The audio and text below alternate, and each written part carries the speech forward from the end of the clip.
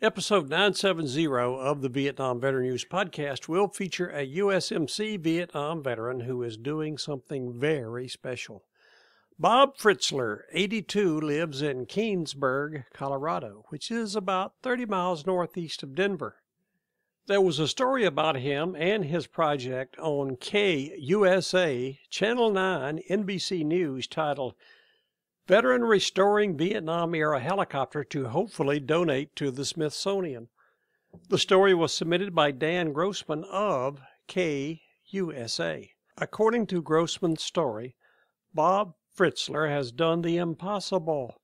He has acquired the same helicopter he flew in Vietnam and secured it on his farm at Keenesburg. In 1962, he was a Marine aviator flying an H 34 Choctaw helicopter in Vietnam to support the South Vietnamese military as they battled the Viet Cong forces. At first, he operated down south below Saigon, then his unit relocated to the Da Nang area. After his retirement from the airlines, he took up the avocation of restoring helicopters. Fritzler came across an H 34 he had flown in Vietnam while attending a convention in Fort Worth, Texas. His records indicated he had flown eight combat missions in the H 34 he discovered at the convention.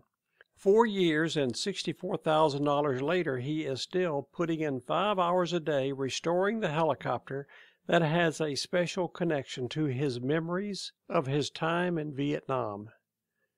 Fritzler set up USMC Shufly Helicopter Flight Association, Inc. to manage the restoration of his U.S. Marine Corps Sikorsky H 34 helicopter, flown in Operation Shufly. He launched this endeavor in 2012 in honor of the 50th anniversary of Operation Shufly, the first U.S. Marine Corps engagement in combat operations leading to the Vietnam War. For more information about Bob's project, go to VietnamVeteranNews.com.